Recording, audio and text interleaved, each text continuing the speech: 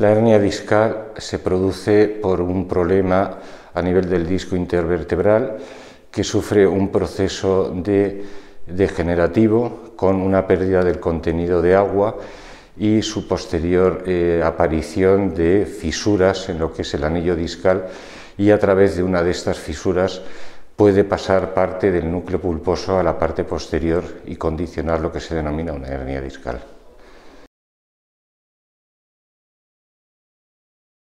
Bueno, el tratamiento eh, actualmente tiene una gran cantidad de recursos eh, técnicos que se pueden emplear. Lo principal es tener el diagnóstico lo más exacto posible, definir perfectamente la patología y establecer una estratificación de tratamiento. Siempre se ha de iniciar con tratamiento conservador, habitualmente hay una mejoría.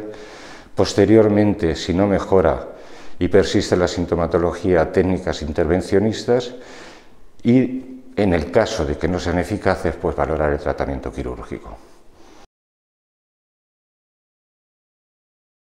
Si nos centramos en el tratamiento quirúrgico, entendemos que se han empleado otras opciones terapéuticas eh, que no han sido eficaces, con lo cual persiste la sintomatología.